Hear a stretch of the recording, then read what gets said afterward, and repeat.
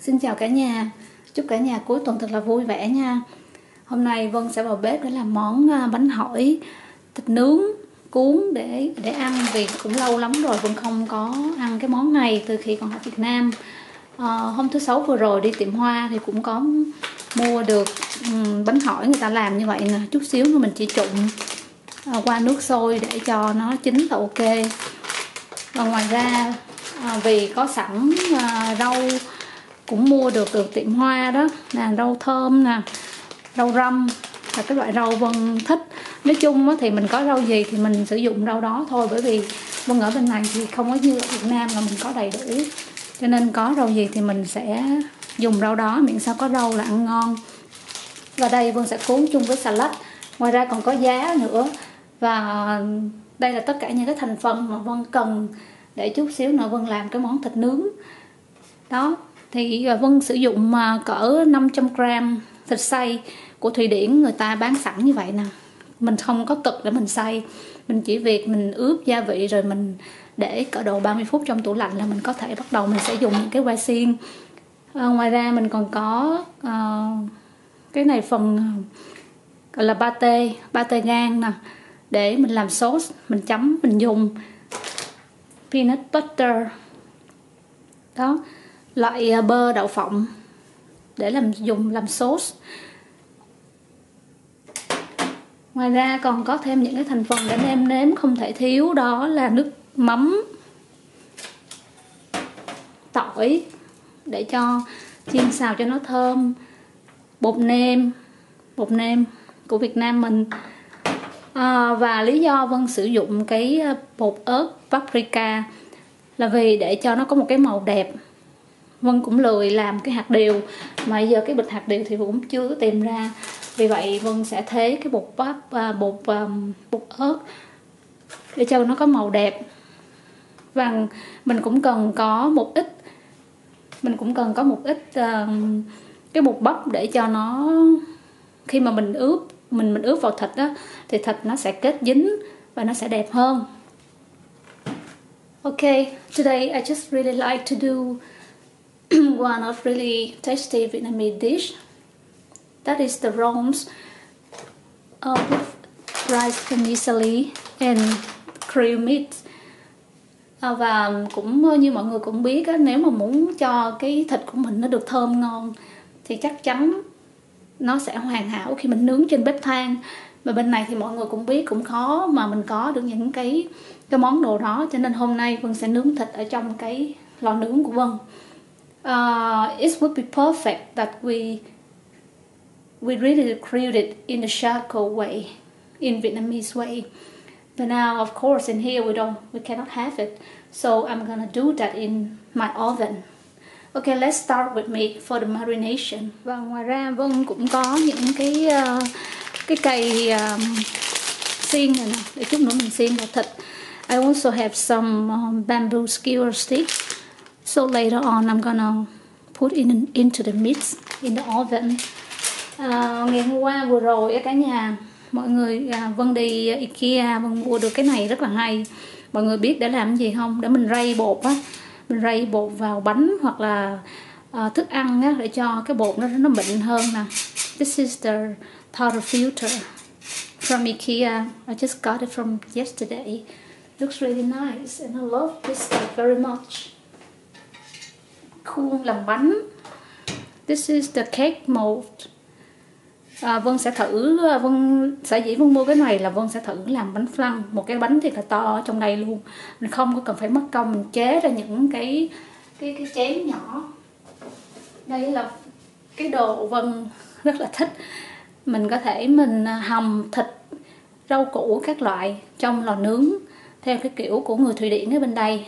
Ok không làm mất thời gian của mọi người bây giờ vân sẽ uh, bắt đầu um, ướp thức ăn nha. Uh, trước tiên vân sẽ cho hai muỗng canh bột bắp 2 tablespoons of cornstarch to make the meat stick together.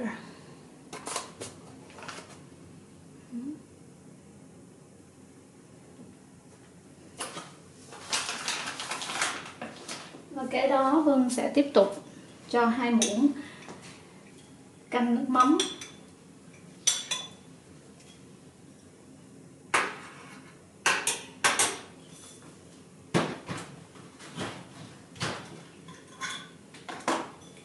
Two tablespoons of fish sauce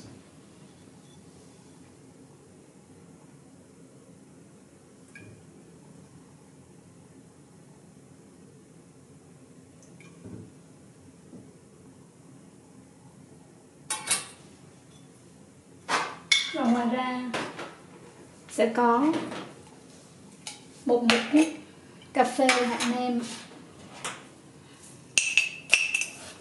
One teaspoon of Knorr Vietnamese one.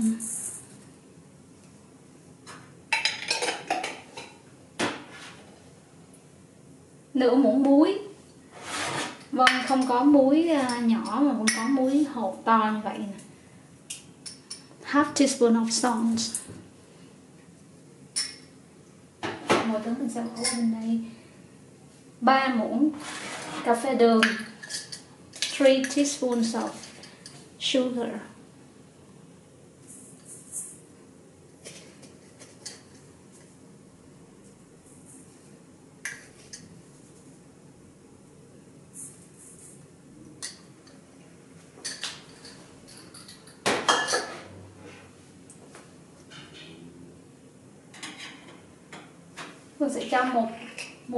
Cà phê one teaspoon of black pepper so it's nice mình bỏ như vậy đúng đi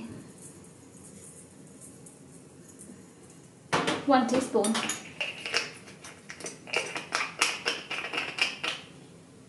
Okay, now we mix them very well and put them in the fridge in about half an hour. Then we can start with the stick for the grilling. À, và ngoài ra thì ờ, con Vân có cho thêm một tí ờ, bột ớt paprika, bột ớt chuông để cho nó có một cái màu đẹp. Uh, I just put a little paprika powder so I can have a really nice color for the meat. And now I mix them very well and put it in the fridge in about 30 minutes. Và bây giờ Vân sẽ trộn cái hỗn hợp này thiệt là kỹ và Vân sẽ cho nó vào trong tủ lạnh để ướp ở trong 30 phút là bắt đầu mình có thể mình làm à, món nướng nha cả nhà. Rồi bây giờ Vân sẽ đeo bao tay và Vân à, trộn cái cái phần thịt này lên cho nó thiệt là đều với nhau nha. Now I just start mixing them really well all together. It's gonna be really nice texture of meat. Đó và mình cứ trộn như vậy nha cả nhà. Trộn thiệt là kỹ để cho tất cả những cái ờ, thành phần gia vị nó sẽ thấm đều vào trong thịt đó sẽ ngon.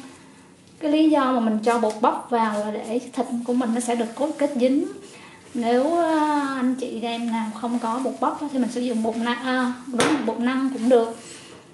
The reason I just put the cornstarch inside the meat is to make them stick together later on when we do in the microwave uh, in the oven.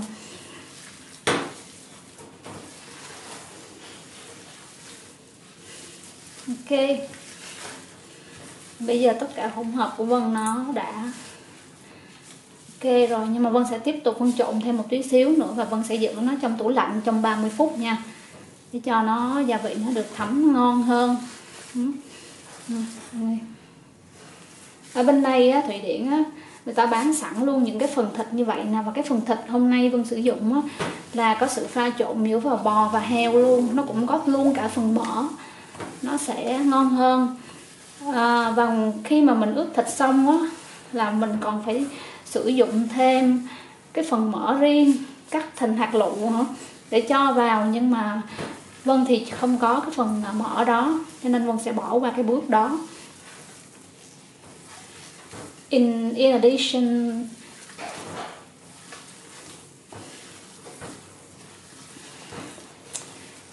nó cứng mọi người nó cũng hơi mỏi tay tí xíu. Actually we need to add in more pork fat cut them into dices, but now I don't have it, so I can skip that way. And the reason to put the pork fat into this mixture of meats is to make them more tasty and not so dry. But I can skip that step because I don't have it for a moment. Okay, now I will put this meat into the fridge in about 30 minutes. Nó dính quá cả nhà. Nó làm cho tay của mình dính theo. Rồi bây giờ trong thời gian Vân bỏ cái cái phần này thịt này vào trong tủ lạnh để ướp á, thì Vân sẽ chuẩn bị những cái phần còn lại như là rau này nọ này kia. Đó làm sẵn luôn và sẽ trộn luôn bánh hỏi nữa. And now in the meantime I can prepare the rest of the parts like uh, vegetable you know making the rice miscellany and also some other things. I will be back in 30 minutes. Đây cả nhà, trong thời gian Vân ướp thịt ở trong ờ, để ờ, trong tủ lạnh 30 phút á, thì Vân đã chuẩn bị được cũng một số công việc như là phần rửa rau, rồi chuẩn bị một ít đồ chua nè. Và trong cái cái bao bánh hỏi này á, thì Vân mở ra, người ta làm sẵn luôn, rất là tiện lợi những cái tép như vậy nè. Chút xíu nữa Vân chỉ trụng với nước sôi thì theo như cái chỉ dẫn người ta trong đó Vân trụng với nước sôi thì mình lấy ra mình có thể dùng. À, và ngoài ra Vân cũng uh, nhúng những cái que này vào trong nước để chút xíu nữa nó khi mà bỏ trong cái lò nướng của Vân đó, nó sẽ không có bị cháy. Ờ, và ngoài ra cũng sẽ bỏ thêm một tí phần bột và bắp vào để nó dính không có bị dính vào trong thịt khi mà mình mình cuốn nó. Okay in the meantime uh, of waiting for the meat marination in the fridge in about 30 minutes I also prepare a lot of things like you know I wash the vegetable. This is Vietnamese mint leaf. I can only find that in New China Trading. Và Vân chỉ có thể tìm được những cái loại rau Việt Nam của mình ở cái tiệm hoa Vân thường hay đi ở bên thành phố kế bên thôi. And this is Vietnamese lady thumb, rau răm, rau thơm, and normal salad. Also prepare a little things for the pickles later on. This is radish, carrot, Ratica of root for the pickles. Để chút xíu nữa Vân à, làm đồ chua. À, ngoài ra phần đồ chua của Việt Nam mình thì chắc chắn còn phải có khế rồi chuối chát rồi các thứ nữa nhưng mà mọi người cũng biết ở nước ngoài thì sẽ không có thể nào có đầy đủ như vậy cho nên có cái gì thì mình sẽ sử dụng cái đó. Um, besides this kind of pickles in the really Vietnamese way we also have star fruits and uh, young banana But of course, in here, it's hardly to find those stuff, so I just use whatever I can have. And this is a really nice um, rice vermicelli, and I'm gonna just boil it in the hot water to make it soft, and later on I just can start enjoying. And uh, I also soak all of these bamboo sticks in the water so that it's not burned in the oven later on. Okay, I think it's about the time that I can take out the meat and we start putting the stick and do it now. Và bây giờ Vân chắc Vân nghĩ Vân có thể lấy cái phần thịt ra và mình sẽ chuẩn bị được rồi đó. Ok cả nhà Vân có một cái tip rất là nhỏ để cho cái công việc à, làm cái cái phần những cái que của mình nó sẽ đơn dễ dàng hơn và thịt nó sẽ ngon hơn. Là Vân cho hết tất cả những cái phần thịt xay của mình vào một cái túi ziploc như vậy. Và đây là cái túi vân mụ của IKEA rất là tiện dụng. Mình có thể bảo quản thức ăn rau hay tất cả các cái vào trong tủ lạnh nó sẽ sạch sẽ. Và nó cũng bảo quản được thức ăn của mình. Và vân tiếp tục vân sẽ máy à, như là sẽ tiếp tục mình à, nhồi nó thêm một tí nữa để cho thịt của mình nó sẽ được kết dính và nó ngon hơn. Đó trước khi mình bỏ vào những cái que nha cả nhà. I just have a little tips that I learned uh, from you know the professional one that I put my minced meat in this ziploc bag like this and this is from Ikea. Uh, I keep massage the meat a little bit more so it has really nice texture just butter like this, fresh, you know, and later on, we just cut a little hole like this and put the stick straight in. So we can do the stick very easily and save a lot of time. Bây giờ Vân đã có thể bắt đầu Vân làm nha, mọi người cứ tiếp tục như vậy. Nói chung, càng có thời gian nhiều thì càng tốt, thịt của mình sẽ được ngon hơn. Đó, như vậy nha đó, những cái túi như vậy nó rất là tiện dụng luôn á. Nó bảo quản thức ăn sạch sẽ. Đó thấy. Ok just like this. Và bây giờ mình có thể mình bắt đầu mình cho vào que nha cả nhà. Đây cả nhà, đây là những cái ờ, cái que thịt Vân đã làm xong theo cái cách hồi nãy. Vân có chia sẻ với mọi người. Tuy nhìn thì nó hơi không được đẹp mắt lắm, mà có bán thì chắc cũng lỗ sặc máu luôn á. Tại vì nó to quá. Nhưng mà miễn sao mình có thể kết dính nó được lại như vậy với nhau là ok. And now I have done all of this mistake uh, it doesn't look really uh, super nice like professional do for selling. But it looks quite good. As long as the meat stick together like this then it's okay. Và bây giờ Vân sẽ cho Vân sẽ quét một lớp mật ong á lên trên cái bề mặt của thịt thứ nhất đó là để cho nó có cái màu đẹp nó ngon và nó sẽ không bị khô khi mình nướng. Now I just put on the surface of the meat a little layer of honey so we can have the nice texture and also uh, keep the meat is not so burnt in the oven. Đây cả nhà cái phần mật ong á. Vân cho ra nó hơi đặc cho nên Vân cho thêm một tí nước ấm vào để cho nó tan ra. Mình quét lên cho nó dễ nha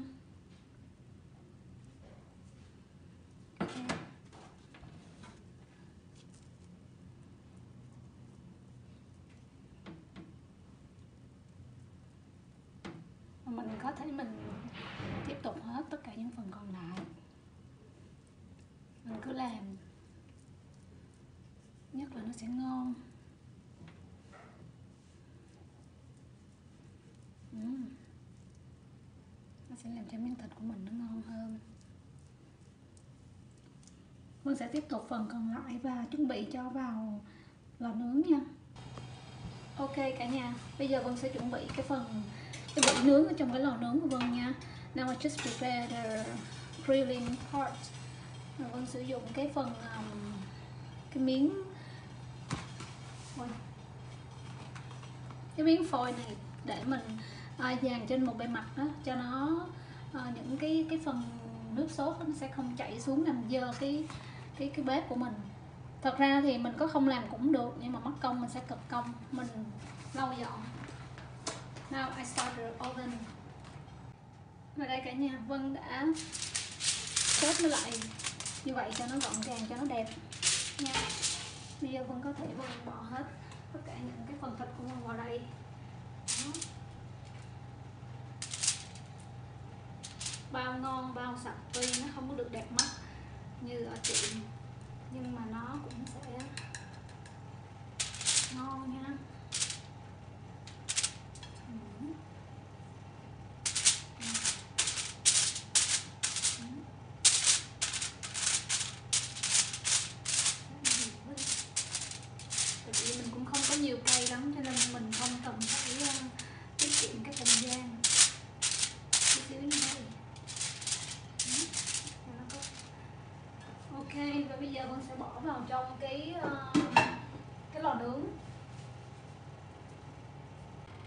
Đây cả nhà.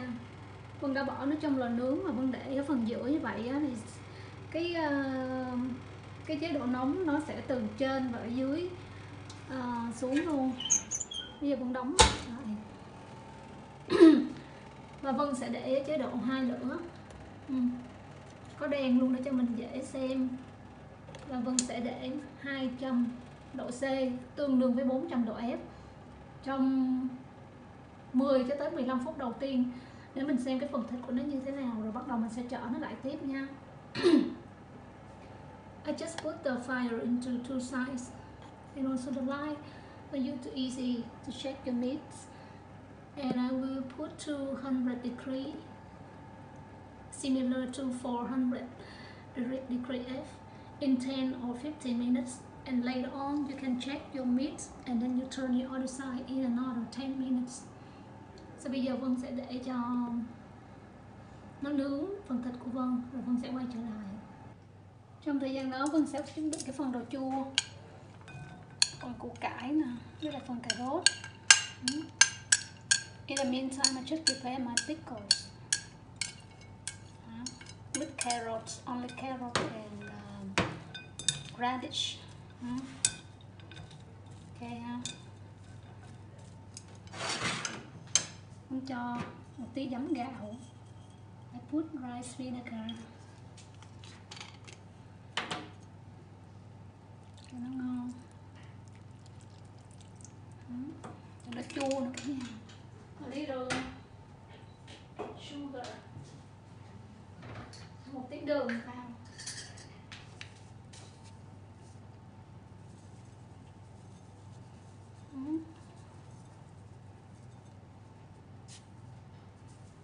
đó và mình cứ để như vậy cho nó thấm cỡ 10 15 phút.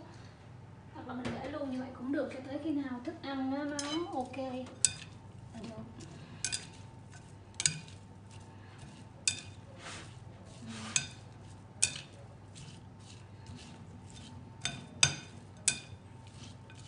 như là mình đã xong rồi chỉ chờ cái phần uh, thịt á chín ok.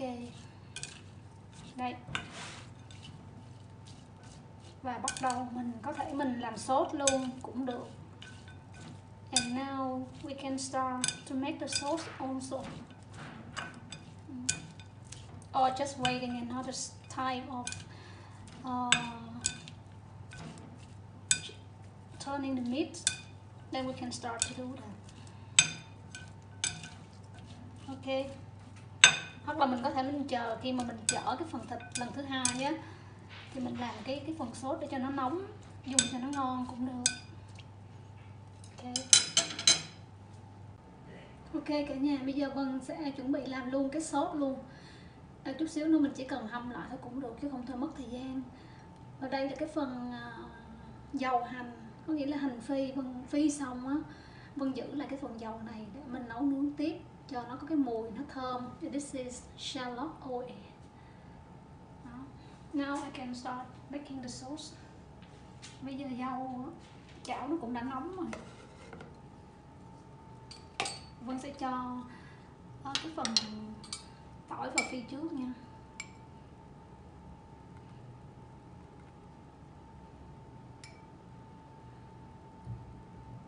Cho nó ngon. Cái mùi ờ, cái mùi hành phi á, nó thơm là thơm luôn.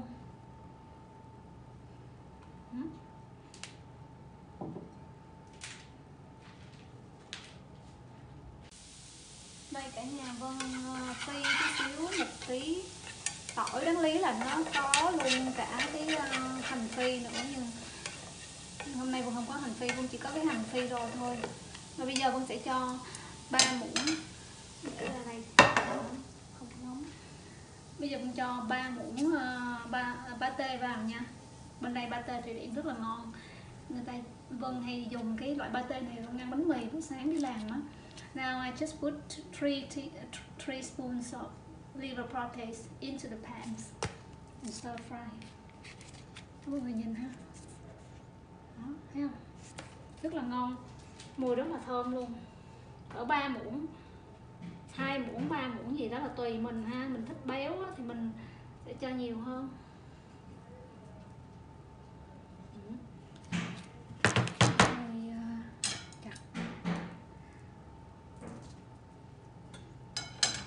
Mình có thể cho hai muỗng cũng được.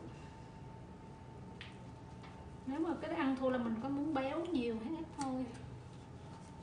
Thôi này con nghĩ là hơn hai muỗng, tại vì một lần mình ra một cốc rất là to. I think I just use two spoon only ok, put back here bây giờ mình tiếp tục mình xào nha. Hmm?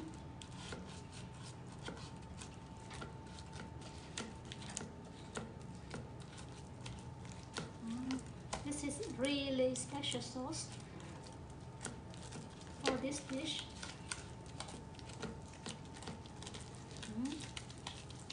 Đó, cả nhà cứ xào ha, xào và trong thời gian xào đó, đó thì tiếp tục Vân sẽ cho một cái muỗng như vậy peanut butter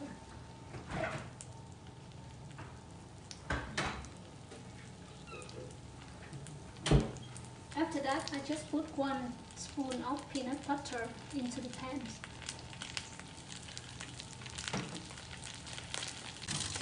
Ôi cả nhà nãy giờ Vân lo làm sốt đó, Vân cũng quên và cũng hơn cũng mới hơn 10 phút tí xíu thôi. Mọi người nhìn ở trong ha, phần thịt đó nó cũng đã uh, tan chảy ra rất ngon. You know it's over like 10 minutes I think 50 minutes. And our meat inside is quite good now. I think we can start to turn it to the other side rồi bây giờ Vân có thể, Vân sẽ sẽ đổi chiều của cái cái phần thịt nha. Đây bây giờ Vân mới đổi chiều của thịt, nó hơi nóng cho cả nhà nha, rất cẩn thận không là phỏng luôn á. I just turn it outside for the meat, and I'm gonna just leave them for another 10 minutes. It's tasty, delicious.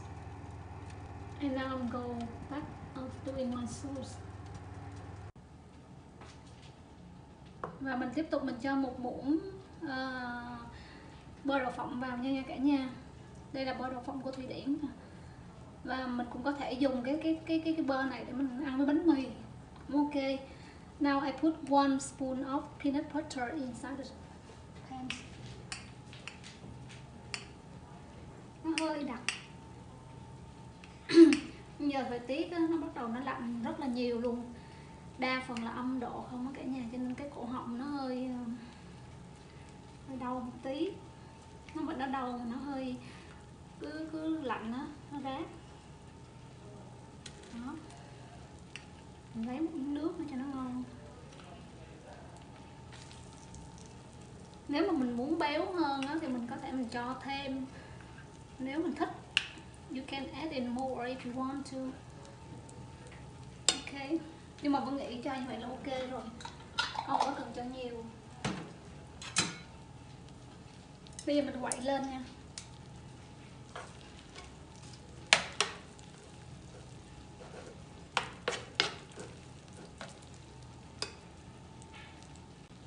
Và đây là phần bột bắp. Hồi nãy mình đã chuẩn bị đó bây giờ mình cho vào luôn nha. Cái lý do mình cho vào là mình để cho cái phần sốt của mình nó cách dính sẽ ngon hơn this is cornstarch with water. I prepared in advance before. I just put in here also.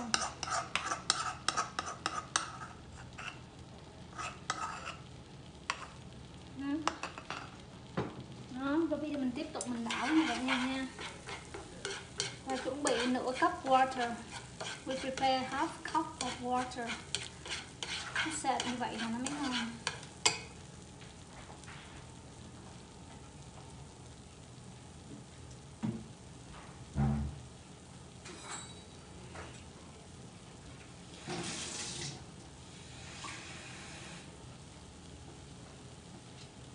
Cho nước vào luôn nha.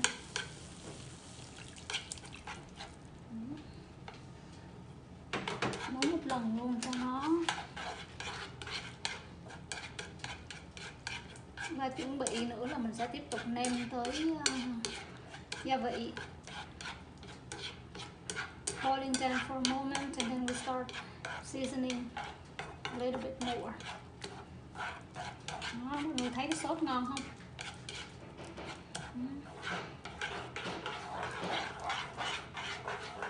Rất là béo nha cả nhà nha.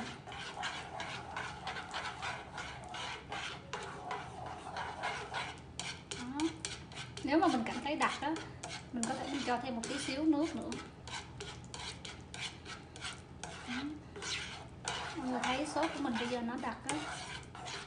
Bây giờ cái phần bột bắp á see my sauce is getting thicker a little bit because of the cornstarch. Bring them all together. Mm. Now we can start marinated. Và bây giờ mình sẽ cho nửa teaspoon, nửa muỗng cà phê đường nha. Half teaspoon of sugar. ai thích ăn ngọt thì cho thêm nhưng mà vân thì không thích ăn ngọt nhiều trong trong bơ đậu phộng thì nó cũng đã có một tí xíu phần ngọt hai muỗng nước mắm 2 spoon of fish sauce. Đây là nước mắm ngon con rất là thích cái nước mắm này. Người ta bán ở bên đây. À, cuối cùng mình cứ vẫn nêm nếm lại và mình cho cái gia vị theo cái khẩu vị riêng của mình cũng được. Và đừng quên cho một tí xíu ớt. Mình cho một tí xíu chili sauce một tí xíu tương ớt vào cho nó ngon. Và nếu ai muốn uh, bỏ cano vào thêm nữa thì bỏ còn vân thì vân nghĩ chắc là ok là vân không có cần bỏ cano vào. Và ngoài ra thì uh, nếu mà mình muốn có cái màu đẹp á vân thì không có làm cái nước màu. Thì mình cũng có thể tìm cái dạng như là những cái nước màu của ớt ớt sa tế bỏ vào cũng được. Uh, in order to uh, make the sauce has a really nice color you can add in the cashew nut cooking in the oil. Or you can use um, satay instead. Chili satay. Nhưng bông thì uh, mình sẽ cho một tí ớt sa tế vào nó ngon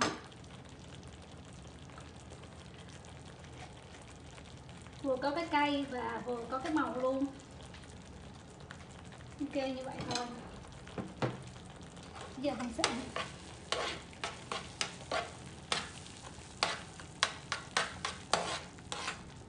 sốt này hơi bị nhiều luôn cả nhà hmm, and then just cook the sauce until it's done. And in the meantime meat also finish. Oh, we start enjoying now? Hmm? Hồi nãy Vân quay bằng cái máy uh, máy quay á mà giữ chừng cho nó hết pin chết ngắt thế là Vân uh, sử dụng bằng cái điện thoại có chương trình quay cho nó đẹp Okay, I think that we can start enjoying now. Checking out the meat. You see, it's totally done. Wow, this is super delicious sauce. Và cái sốt này là cái sốt từ miền Bắc. Vân thì vẫn thích ăn nước mắm hơn. Nhưng mà cũng muốn thử học để làm cái sốt này nó như thế nào. Ok, bây giờ Vân nghĩ cái sốt của mình đã ok rồi. Vân sẽ tắt lửa luôn kiểm tra phần thịt nha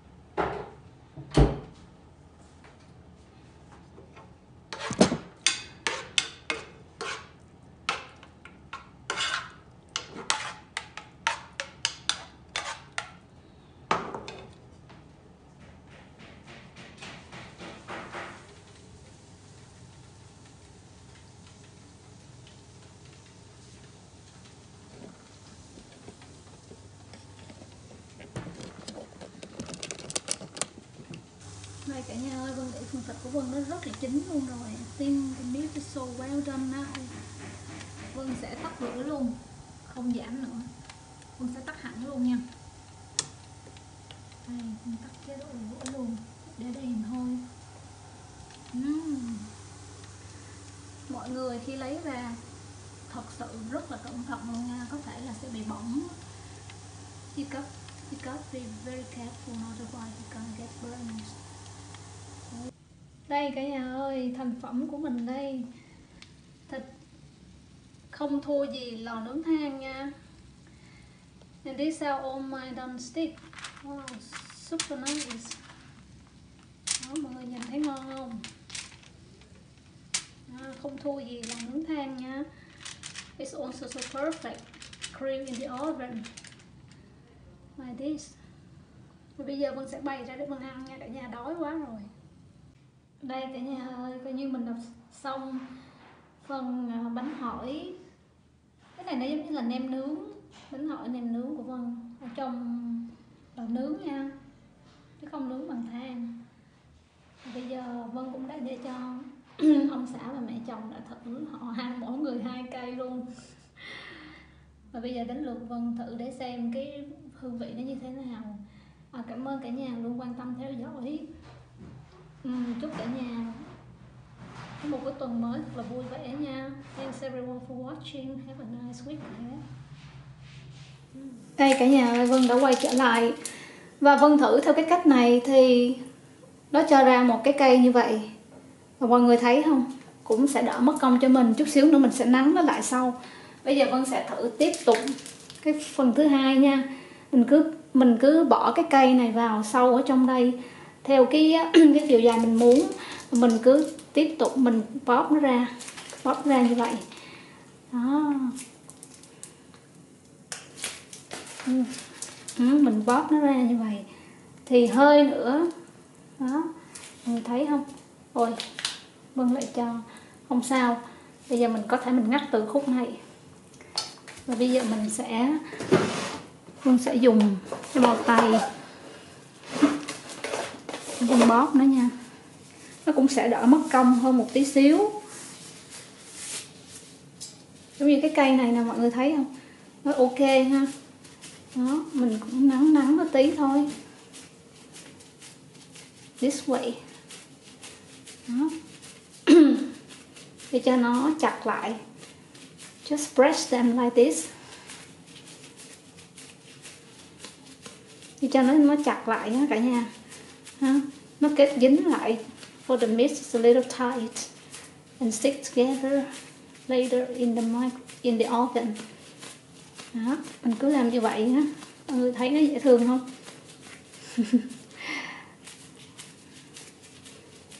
Ok ha.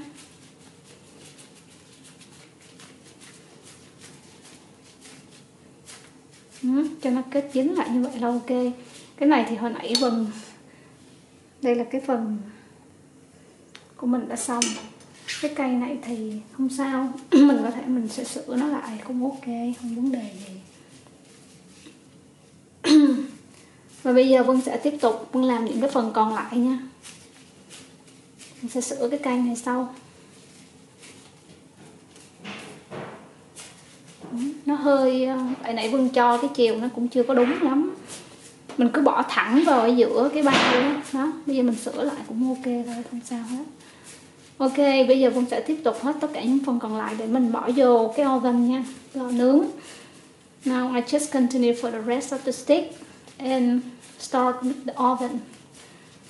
So, fix. Đó, bây giờ Vân đã